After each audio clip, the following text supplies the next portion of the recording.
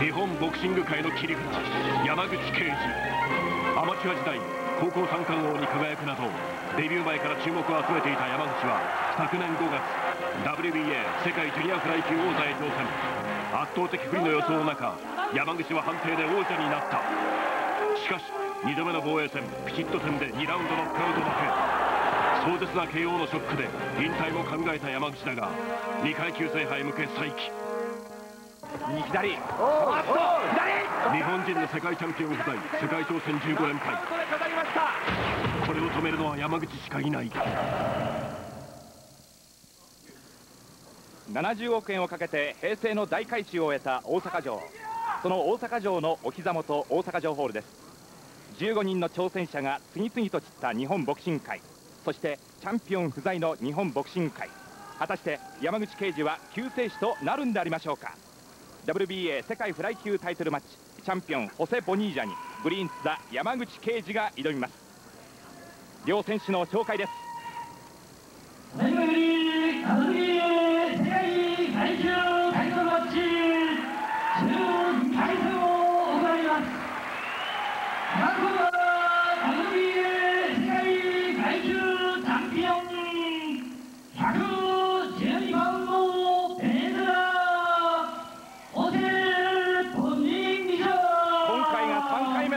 戦ですチャンピオンホセ・ボニージャ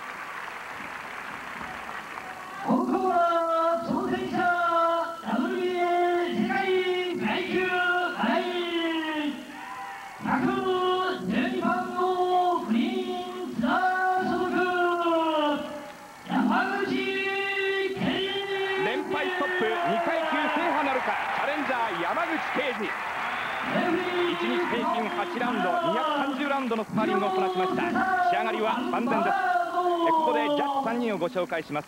デュアン・フォードさんそしてオスカー・ペレスさんいずれもアメリカサムエル・コンデさんプエルトリコであります。レフリーはフリオ・アルバラードさんアメリカです。山口圭司が2年前初めて世界に挑んだ時と同じレフリーであります。これが25試合目の世界戦のレフリーとなります。現在中央の人です。そしてここで WBA のルールを確認しておきます。まず1ラウンドに3回ダウンしますとナックアウト負けとなります。3ナックダウン制。偶然のバッティングによって試合を停止する場合4ラウンドまでは引き分け。5ラウンド以降はその前のラウンドまでのジャッジペーパーの集計によって勝敗を決します。日本の世界挑戦15連敗。そして日本のチャンピオン不在をストップするべくまもなく第1ラウンドのゴンが鳴ります。試合前の注意が与えられています。両選手がコーナーに分かれました。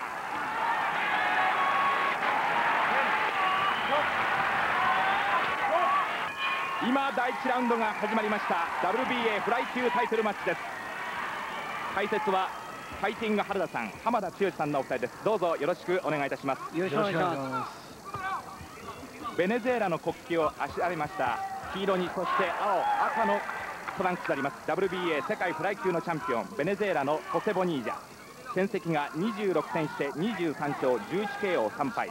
ウエイトが昨日の計量で112ポンド50.8キロでありました。9連続防衛スーパーチャンピオンと言われましたセンソン・プルンチットを判定で破ってタイトル獲得。その後日本の井岡弘樹そしてパナマのエバンヘリオ・ペレスを下し2度の防衛に成功。今日が3度目の防衛戦です。山口がワンツーです。白のトランクスにヒョウ柄。こちらが山口圭司。WBA のフライ級の7位です。元 WBA ジュニアフライ級のチャンピオン。24戦して22勝 8KO2 敗。ウエイトが112ポンド。50.8キロ。両者同じウエイトで今日は戦います。山口が積極的に仕掛けていきます。右の大きなパンチ。これは空振りです。空を切っています。ワンツーです。高校三冠を引っ提げて高校卒業と同時にふるさと函館から大阪はグリーンスタジムに入門。プロ13連勝の後日本ジュニアフライ級のチャンピオンになりました。去年5月2度目の世界挑戦でカルロス・ムリージョ判定で下し WBA ジュニアフライ級の王座獲得。初防衛に成功しましたがさあ山口が積極的に出ます。第1ラウンドは見ていきたいと山口は話していたんですが積極的に山口が出ます。チャンピオンボディを打ってきます。ローブローの注意が与えられます。あの山口とすれば今の距離を保ちたいですね、はい。今の距離だとボニージャ苦手とする距離なんですね。中間距離以上ということでしょうか。そういうことですね。それとサウスポーの左ストレートはボニージャに対しては相当有効ですから。はい。ただあのこのボニージャ中に入ってくると左フックいいの打ちますからね。はい。そういう時は怖いですね。回転川原さん、はい。勝負のポイントはどこになりましょう？そうですね、やっぱりあのー山口君がですね、足を使ってるうちはいいですけど、止まると怖いですね。はいで、あのー右のジャブを忘れたらいかんですね。右のジャブですねはいはいはいあれを買い込むって入ってこようっていうボニージャクですからね。ええ浜田剛さん、はい。ここまで両者の動きはいかがですか？いやあのー山口もいい距離を保ってますよ。ただボニージャがいかに詰めようかという今苦労あの工夫してるところなんですね、ええそこでもう少し山口とすれば右を欲しいところですね。これですね。そうそうですね。これは一発じゃなくてもう少しリズム感に欲しいところですね。連打ということになりましょそうするとボニージャ焦ってきますからね、はい。ただこの選手中に潜り込んだらボディから左上に返しますから、ええ。それはやっぱり注意ししなきゃいかんですね、うはい。第1ラウンド残り10秒切っています。左これは大きい。右左とパンチを合わせてきました。チャンピオンのボニージャです。ここでゴングであります。第1ラウンド終わっています。トリプルマッチ in 大阪を大阪城ホールからお送りしています放送席改めてご紹介します。東洋初日本人として初めて2階級制覇を成し遂げましたファイティング原田さん。そして元 WBC ジュニアウレター級のチャンピオン浜田剛さんです。よろしくお願いします。どうも。ラウンド2さあ第2ラウンドが始まります。ファイティングハウスさん、第1ラウンドは攻防あったんですが、えイーブンと見てよろしいですか？そうですね、僕はあのーいいと思います。あの山口君も先ほど言いましたように、あの足洗いにやっぱり動いてるうちは大事だと思いますね。はいそしてあのー右のジャブを忘れずに入ってくるとこ、右アッパー、右ストレート打ったら面白いと思いますね。えただやっぱり、やっぱりホセボニージャっていうのはね、やっぱり老快ですからね、非ええ常になかなか入らせて怖いと思いますよ。29歳のベテランです、浜田剛さん、はい。チャンピオンのボニージャは、サウスポートの対戦は6戦全勝、うん。全く苦にしていないと言ってるんですが、ということではありますけどね、はい。私が練習を見た限りではやっぱりサウスポーを苦手にしてますね。苦手ですか、はい。はい。特にあのーサウスポーの左ストレートをちょっと避け損なうところがあるんですね、えそれと体を立たされてしまうと、まあ、この選手、小柄なんですね、ええ。体立たされてしまうとお案外力出ないなっていう感じしましたね、はい。ただ、潜り込んでしまうといいパンチを打ちますね、そうですね、はい、まあ、あの今もボニージャ、あのー中に入っていこう、入っていこうというところありますけどね。ええ。ボディーを打ってきました、チャンピオン。山口の右が足りないから、そういった、右が足りないからなんですね。大丈夫でしょうか、だからもう少しか、今いいの組みましたよ。はい、ボディーですもう少し、ボディーじゃ出る、おーチャンピオンになる、左だ、ちょっとあのチャンピオンになる動きを止めたいからですね。さあ、こういったそういったジェスチャーを見せました山口です右が、を使いながら左ストレートを伸ばしておいて、うん、山口が前に出ます。身長差、リーチ差はあり,、えーあるわけですからね。はい、左フックでした山口。左です。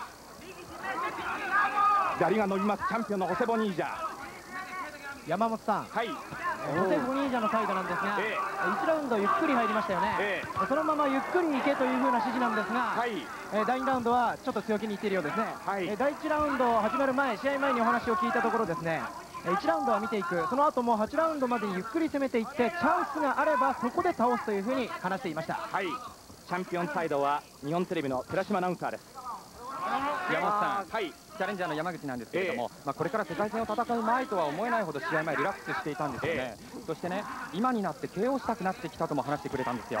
そうですか。えそれえ。えと青コーナーの注意点なんですが相手のパンチより自分の足を止めるな。そして距離を取れという声が出ています。はいファイトガンさん、第2ラウンドこのパンチを受けているというのは、やはりちょっと山口が打ち合いに入えーろうかという構えを見せてますね。そうですねええそのボニージャはですね、また積極的に出てきますからね。はい、はい。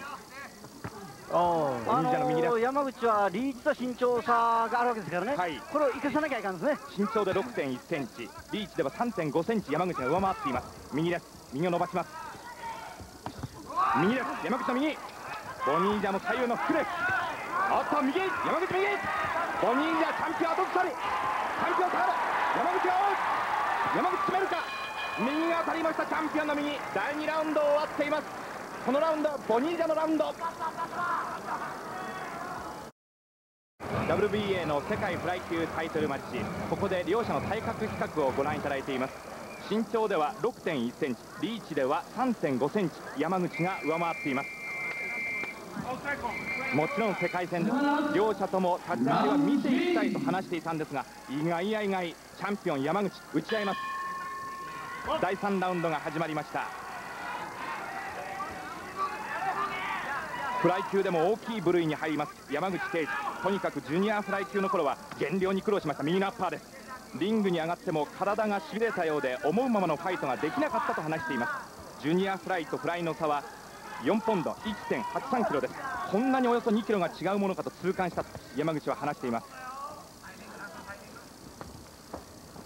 タイミングを測っていますチャンピオン。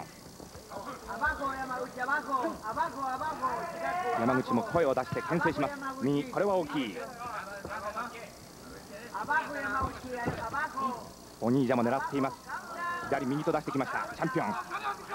まあ、あの山口、もうすぐ右欲しいところですね、はい。えーまあ、そうですね。今の感じでリズム取りながら動くことですね、これが山口の持ち味ですからね。それを崩してしまうと、やっぱりあの入られてきますからね、はい。もうボニーダは老化のところあるんで、相手の良さ殺さんといかんですからね。そうですね。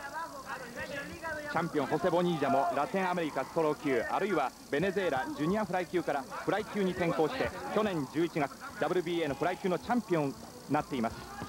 山口右左早い左。腕が当たった。チャンピオンの奥に詰まる山口追うかチャンピオン出てきます。右です。チャンピオンの右。左のアッパーです。バックステップを踏みながらの山口の左。右。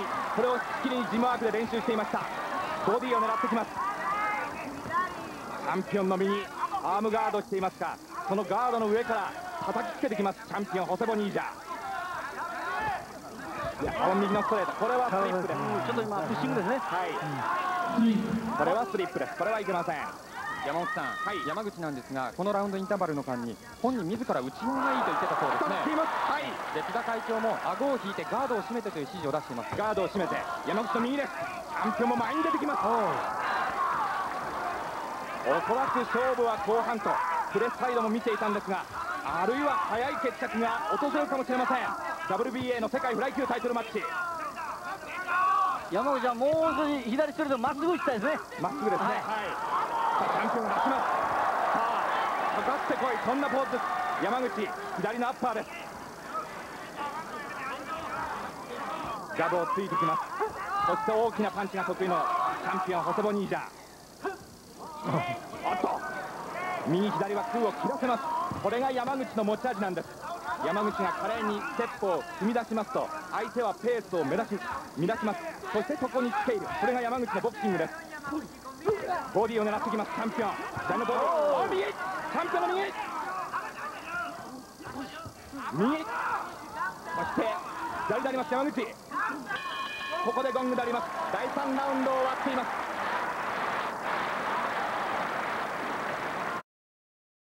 とにかく持ち前のフットワークを使ってチャンピオンのペースを崩したいんだと話していました山口です。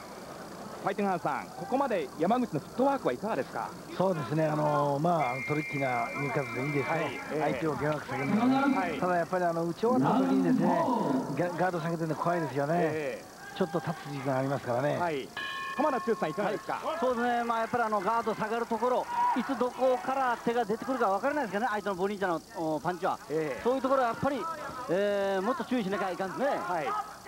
浜田さん中間距離以上離れて戦いたいと言ってましたが、その中間距離以上の距離は保てます。あのちょっと保ってる時にいいパンチが入るんですね。すはい。ただ、あのーワイルドになった場合には、両方ともチャンスもあるし、ピンチもあるっていう状状態なんですね、はそういう状態じゃなくて、もっと自分の距離をもっと使うことですね。はい。山口の WBA フライ級タイトルへの挑戦は日本人ボクサーの世界タイトル連続失敗の記録そして日本のチャンピオン不在をストップさせる一戦と申し上げました。さらに山口は去年5月から12月まで WBA の世界ジュニアフライ級のチャンピオンです。ということは今日勝ちますと2階級制覇ということになります山口は1階級上げたことによってパワーアップしたのはもちろんスピードもアップしたんだと。何より相手のパンチに耐える力持久力がついたと話しています。ファイティングハウスさん、原田さんも2階級制覇していますが、山口のコメントいかがですか、そうですね、あのそまっともそのとだと思いますからね、はい。やっぱりあのでも、手を出さなきゃ当てなきゃパンチはね当たんなきゃ意味がないですから、えやはり手を出してチャンスに荒らしてもらいたいですね。手数ですね。はい、ボニ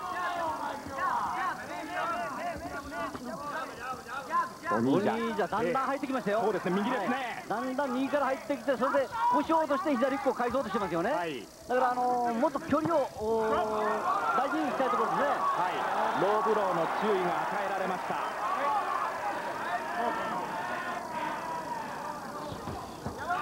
右左パンチを出してきます。山口です。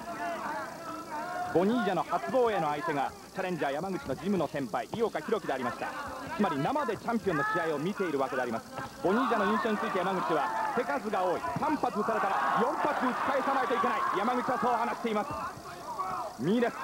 左です。おお左。チャンピオンのパンチが当たった。距離が詰まってきてますよね。おっとガードを下げます山口。おっと距離が詰まってきてますね。距離が詰まっているという指摘です。さあ山口は出るか？チャンピオンも状態を振ります。低い姿勢チャンピオン右のアッパー。チャンピオンの右が当たっています。先ほど申し上げましたが山口のジムの先輩井岡はもう一度やるとしたらどうしますかと聞きますとスピードで対抗すると意外に細かい動きに弱点があるんじゃないですか。井岡弘樹は話しています。もう少し右手数そしてもう少し足数足を動かしたいところですね。そうですね。左ですいきなりおーっと。ワンツーです。このボニージャのパンチは見た目よりぐっと伸びるとその井岡は話していました。ワンツーここでゴングであります。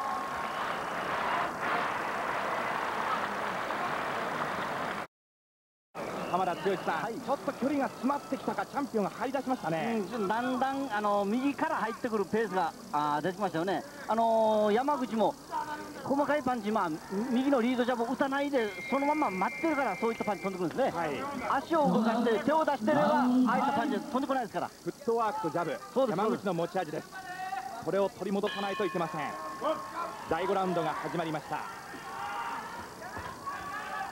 そして、あのーボニージャとすれば、中から潜ろう潜ろうという体型ですよね、はい。これを立たせることなんですね、ええ。潜るとこの選手、いい左打ってきますから、はい。潜らさせないでか状態を浮かせることですね、状態を浮かせること。ははい。そうまあ、そのためのは左ストレート有効ですよ。はい。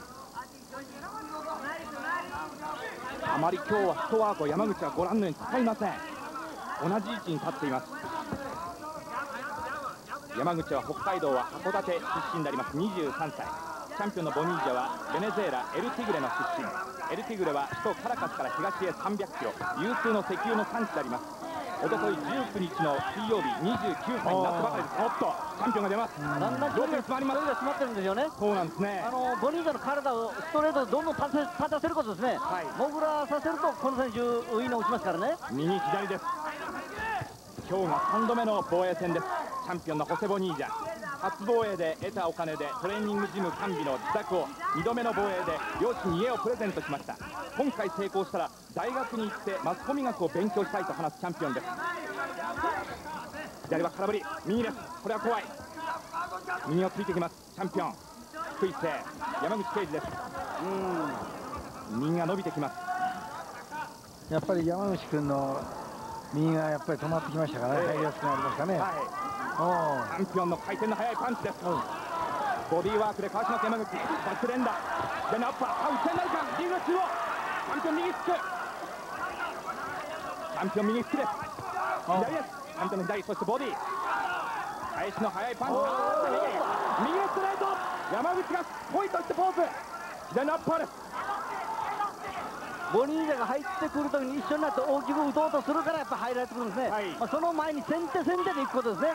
そうですね待つとやっぱり入られてきますから。はいさあこの距離は危ないぞこの距離は危ないこの場合に左フック飛んできますからね。必ずボディ打ったら右でボディ打ったら左フック上に行きますから。この右のショート右のジャブが欲しいですねそうですね。ですから右のフック足数手数必要ですね。左単発です山口しかし単発第5ラウンド間もなく残り30秒になります。右のストレート。それとあのボニージャには左ストレート有効ですからね、はい。左ストレートをあのパンチを流さないで打つことですね、はい。流してしまうとボニージャが避けた場合次の攻撃はできないですね、えうん。右のフック足を止めての打ち合いだ。右のボディボディアッパーチャンピオン。残り10秒。右のフックです。山口の右待ったらいかんぞ待ったらいかんぞ待ったらいかんですね。ここで状態がつきました。第5ラウンド終わっています。このラウンドもチャンピオンでしょうか。1959年昭和34年11月5日大阪市北区扇町プールでパスカル・ペレスのフライ級のタイトルに八百板佐藤さんが挑んだ試合から数えて関西で行われる世界タイトルマッチはこれが52試合目となります。大阪城ホールでは8試合目です。第6ラウンドが始まります。WBA フライ級のタイトルマッチ。チャンピオンホセ・ボニージャに山口圭司が挑みます。はい原さん、はい、そろそろこの手の内が分かってきて、チャンピオンが出だ出だしたといったあたりですね、そうですね、あの山口打ち終わった後本当に怖いですね、はい、あのガードを上げてないと怖いと思いますよ。えーうん、さあボニージャチャンピオン前に出ようという構え。接近戦ですカルロス・モリージョからジュニアフライ級のベルトを奪った時には本当に前半戦相手をこの足でか乱しました。今日は足をあまり使いません。山口です。ワンツーです。身の負荷大きい。それとあの手を出しながらじゃないとですね、えー、相手はどうしても距離が詰めやすくな,、ね、なりますからね、はい、近距離の打ち合いだ。今の打ち合いなんかでもですね、えー、5人が入ってきた時に。全部ストレート山本さん、はい、山口サイドもね放送席と全く同じですね、えー、ちょっと山口の距離じゃないからジャブから左ストレート。左を取った左を取った山口出る山口出る山口出る聞いてるかまあ、今ありますよ、今ありますよ。チャンピオンストップステップバック右を使う打ち合いだもう少し距離は感情小さくいくことですねああちょっともったいないですね今のは山口が逆に距離を取りました。ああ右チャンピオンの右。逆襲です。チャンピオンの前に出る。山口左。左スク。ジャブから左。ボニーダには左ストレート有効ですからね、はい、左ストレート投げさないともっと。ボディ引いたか？入ったあ引いてるか？ああちょっと鈍りましたね今。引いてるあチャンピオン右。チャンピオン右ああ右チャンピオンの右利きを引いたカウントが進むカウントが進む立ち上がった。残り1分。残り1分。山口笑ってるように見える。もっとチャンピオン出るチャンピオン出るフレンチそれがチャンピオンチャンピオン出るチャンピオンだってあーっとここでレフリーが試合を止めましたレフリーが試合を止めました。チャンスの後にちょっとおおガード開いてしまいましたね。日本人ボクサーの世界タイトルの挑戦。15連敗と16連敗となってしまいました。山口敗れました回転が原さん、やはりちょっと距離が詰まってきて、このラウンドあたり、そうですね、えー、やっぱりパンチの人怖いですね、はい、非常に山口君のチャンスがあったんですけどね、えー、それに勢いよくいったときに、いいなって言いましたね、相手でやっぱりパンチの人は。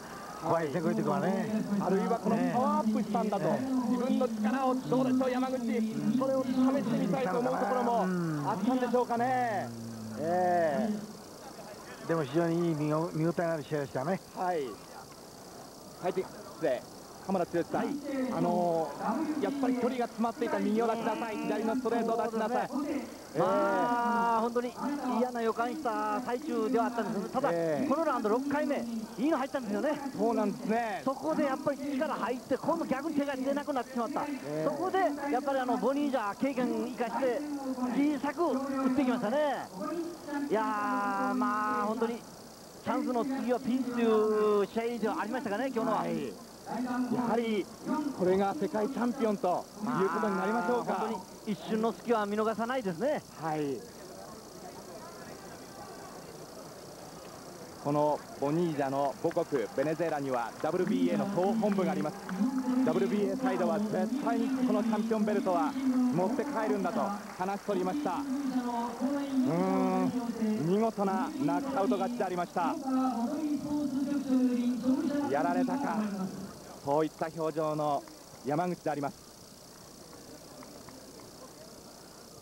ジュニアフライからフライ級に一階級上げました。パワーアップしたんだスピードもアップしたんだと話していたこの山口なんですがこの前にチャンスがありました。まあ思わず原田さんからもいいの食っちゃったなという声がありましたが、えー一度目のダウンでは立ち上がりました。そして試合が止まりました。山口圭司です。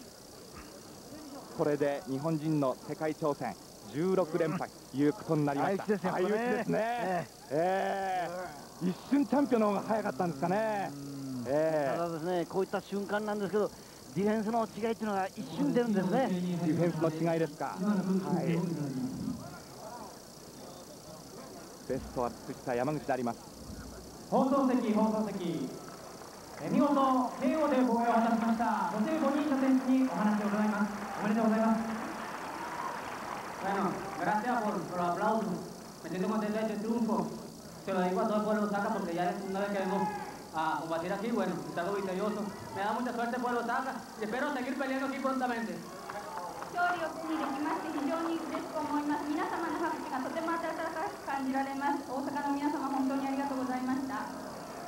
チャレンジャーの山口選手の印象を聞かせていただきたいんですが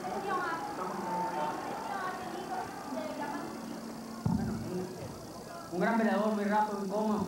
Tuve que hacer un gran esfuerzo para, para desatarle la técnica que tenía. Bueno, al final lo logré. Pero un buen peleador que eh, eh, futuramente será un campeón. 非常にスピードのあるいいボクサーでした私は全ての力を出し切らなければいけないけませんでした彼はあの将来的にあの世界チャンピオンになる器だと思います日本のボクシングファンにメッセージをお願いします Bueno, sobre todo a toda la juventud de, de Osaka, que trabajen, estudien y hagan mucho deporte, que esto es lo que va a, seguir, va a sacar adelante el país. 非常に大阪の皆様には感謝をいたしておりますこれからもよろしくお願いいたしますありがとうございました見事 KO で防衛を果たしましたあありがとう、ありがとう。見事 KO で防衛を果たしましたホセ・ボニータ選手でした。チャンピオンホセ・ボニージャの喜びの声をお聞きいただきました。ここでひとまずコマーシャルご覧いただきます。